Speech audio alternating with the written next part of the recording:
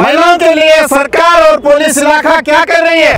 विनंती है, हमारा आग्रह है ये भारत देश के सरकार के जो कानून है, हमारी कानून में बदलाव लाना चाहिए।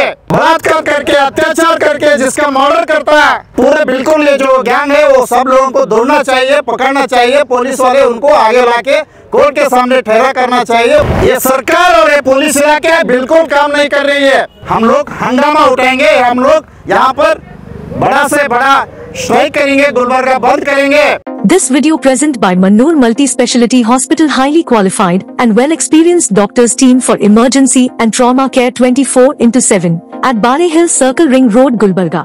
ಬೇಕು ಎದಕ್ಕಾಗಿ ಹೋರಾಟ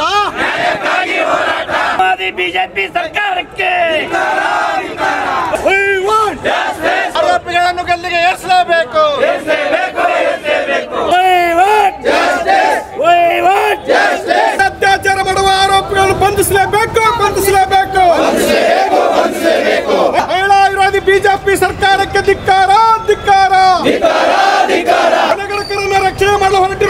बीजेपी सरकार के दिक्कारा, दिक्कारा।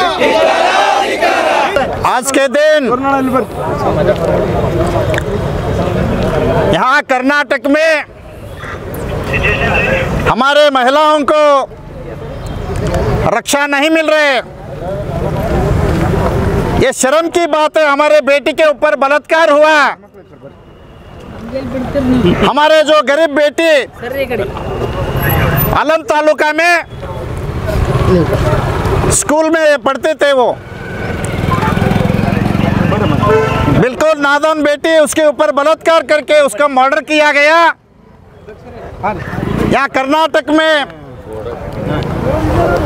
महिलाओं के लिए सरकार और पुलिस इलाका क्या कर रही है? हमारे महिलाओं के रक्षण के लिए ये सरकार और ये पुलिस इलाके बिल्कुल काम नहीं कर रही है। दिन दहाड़े बलात्कार करके, अत्याचार करके जिसका मर्डर करता है। और ऐसा हमारे राज्य में होता है तो हमारे सरकार क्या कर रही है? ये पुलिस इलाके क्या कर रही है? ये हमारे भारत देश में, कर्नाटक में घड़ी घड़ी ऐसे अत्याचार, बलात्कार और मर्डर हो रही है। इसलिए हमारा विनंती है, हमारा आग्रह है, ये भारत देश के सरकार के जो कानून है, हमारी कानून में बदलाव लाना चाहिए। जो नादान बच्चियों के ऊपर गैंग रेप होता गैंग रेप करते, ऐसे लोगों को कड़ी से कड़ी अब उनको फांसी शिक्षा देना चाहिए। एक, उनको चुप, एक अरेस्ट करके पुलिस इलाके वाले बोलते हैं, आरोपी को हम पकड़े अरेस्ट करें। तो यहाँ पर गुलबर्गा में दंगा नहीं होना सिटी में हंगामा नहीं होना बोल के हमारे को एक सबूत दे के गप चुप बैठने के लिए पुलिस इलाके बोलते बिल्कुल ये गलत है। इसमें ये जो कल किया गया हुआ केस में एक आरोपी को पकड़े एक ही आरोपी किया हरकत है बोलते ये बिल्कुल नहीं होता।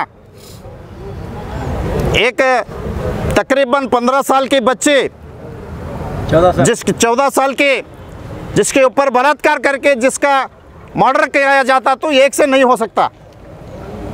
सही बात है। इसके पीछे कौन कौन है कितने लोग हैं ये गैंग रेप है। ये पूरे बिल्कुल ये जो गैंग है वो सब लोगों को ढूंढना चाहिए पकड़ना चाहिए पुलिस वाले उनको आगे लाके कोर्ट के सामने ठहरा करना चाहिए उनका जो हादसा है वो का, कानून के जो कोर्ट के सामने पूरा पूरा दिखाना चाहिए। जब कोर्ट उसको कड़ी से कड़ी शिक्षा देगी फांसी शिक्षा बोलना बोल के उन लोगों को कितने इसमें शामिल है वो सब लोगों को फांसी शिक्षा होना बोल के हमारा वादा है, हमारा आग्रह है।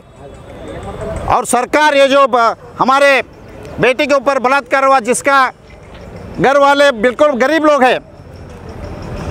अगर ये दूसरा मैसूर, मंगलूर, बेंगलोर साइड में दूसरे दूसरे हादसे होते, जब का जब वहाँ पर मिनिस्टर जाता है, वहाँ का डिस्ट्रिक्ट मिनिस्टर जाता है। सरकार के होम मिनिस्टर को पूछा जाता है। हमारे उत्तर कर्नाटक में गुलबर्गा में ऐसे कई हादसा होते हैं। यहाँ पर मिनिस्टर भी नहीं आता एम एल भी नहीं आता। यहाँ पर बिल्कुल ना इंसाफी का बहुत चल रहा है।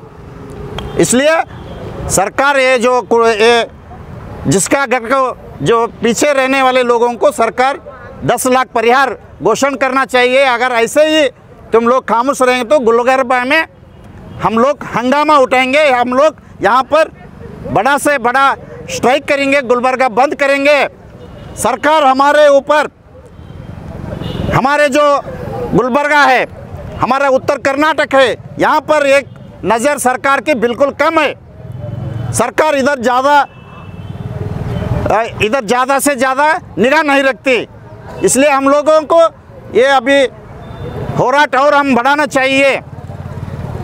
जिधर बेंगलोर में, मैसूर में हज़ारों लोग रोड पर उतरते, हज़ारों लोग रोड पर बैठते तो हमारे पास भी हज़ारों लोग हम रोड पर उतरेंगे, गुलबर्गा बंद करेंगे, यहाँ के उस्तुवारी मिनिस्टर जल्द से जल्द वो घर को जाके उनको मिलना चाहिए, उनका जो दुख है वो पूछना चाहिए, सरकार से जो मिलना उनको देना चाहिए।